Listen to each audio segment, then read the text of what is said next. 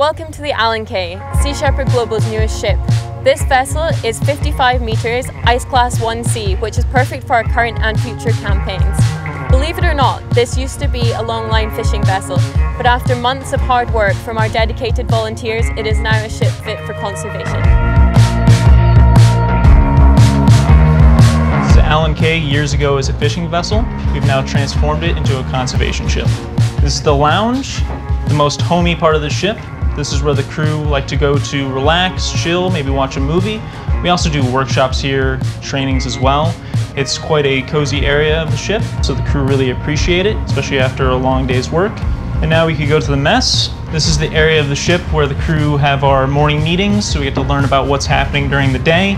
And we also like to play some games here. Most importantly, this is where we have our snacks, our food, three vegan meals a day provided by our lovely galley team. I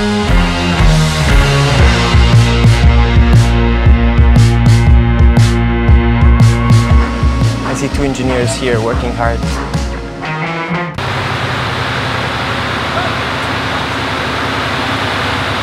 And if we take a step further, we will actually go to the media room. Follow me. As you can see, it's completely finished. Welcome to the media room. This is where we do all of our editing and all of our image processing. We spend a lot of time in here, so we've tried to make it as homely and as comfortable as possible, uh, hence the curtains and carpets. And um, despite what some might say, we do work extremely hard, and even media like to take a little break every now and then, and this is how we do it. So this is quite an unusual place. This used to be the fish factory, so this was the place where the fish was processed. And right now we turn it into a gym. So we have some cardio equipment here and some weights, so our crew can stay healthy and uh, keep working out. So welcome to the dive locker. This is where we store our diving equipment, our PPE, and most importantly for this campaign in Antarctica, our extreme cold weather gear.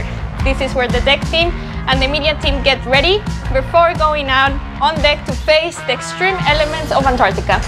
So this is the bow deck where we operate the anchor, but also it's one of our mooring station. And now I'm getting ready the mooring lines for docking. Deck, deck, bridge. Bridge deck, go ahead. We will have about five minutes before we dock.